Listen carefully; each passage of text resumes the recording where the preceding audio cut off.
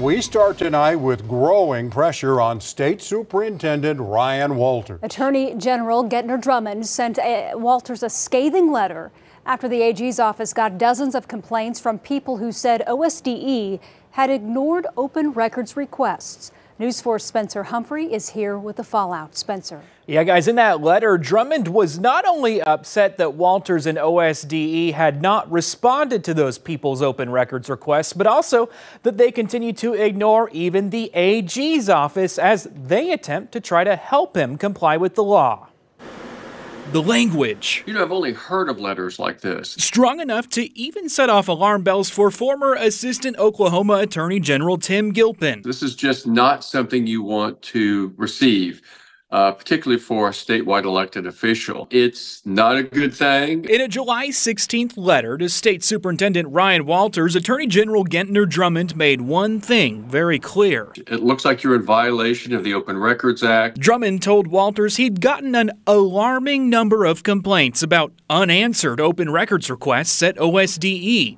He sent Walters this list of 42 complaints from different media outlets of open records requests dating back to January of last year. Drummond writing he'd tried numerous times to work with OSDE on the complaints, but that OSDE inconceivably ignored even his office. He told Walters that is unacceptable, giving him until last Friday to either comply with the law and fulfill those requests or meet with Drummond at his office. But the AG's office tells me that Friday deadline came and went without ever getting a response from Walters or anyone at OSDE. You know, not to respond to the Attorney General uh, is a pretty serious thing. Serious, and Gilpin says quite possibly criminal. At some point, the Attorney General has to sit down and decide if he's going to present it to a grand jury and see if they indict right. Last fall, House Speaker Charles McCall said Walters would have to commit a crime in order for him to consider impeaching him. That's the level of infraction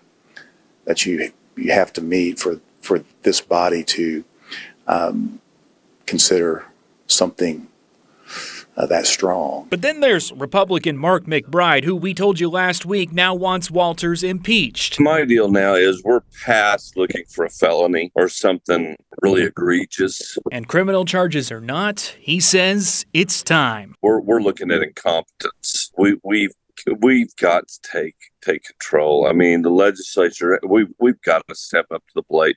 Here we go. Now, I reached out to OSDE's spokesperson with several questions this afternoon about the AG's letter. He didn't respond. Meanwhile, on the note of impeachment, tonight, multiple sources confirmed to me numerous Republican House members have signed on to a letter calling for Spe House Speaker Charles McCall to open a formal investigation into Ryan Walters, which could result in an impeachment vote. Additionally, three House Republicans released a statement today with some harsh words for Walters. In that lengthy statement, they wrote, quote, Walters' behavior is unbecoming of any leader, especially the highest ranking person in the Oklahoma public school system. Of course,